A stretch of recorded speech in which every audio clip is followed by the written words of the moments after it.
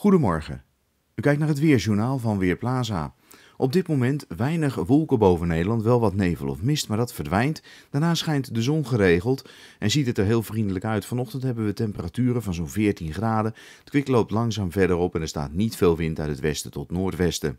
Vanmiddag in het noorden van het land misschien iets meer wolken. Het blijft op de meeste plaatsen droog en de temperaturen liggen tussen de 18 en 20 graden. De wind neemt wat toe. Kustgebieden een matige windkracht 4 en misschien wel even een vrij krachtige wind windkracht 5 in het Waddengebied. Vanavond weinig verandering. De meeste wolken die er zijn, zijn in het noorden, als we ze vinden, want vaak is het gewoon helder. Morgen een iets ander verhaal, want van het noorden uit stromen dan meer wolkenvelden het land binnen. Het blijft op de meeste plaatsen droog, het wordt ongeveer 18 graden en er staat een matige wind uit het noordwesten. Rustig najaarsweer, met in de loop van de week ook wat hogere temperaturen. Dat gebeurt vanaf donderdag, dan draait de wind naar het noordoosten, komt er meer ruimte voor de zon en gaan de maxima omhoog naar 20 graden of net iets meer.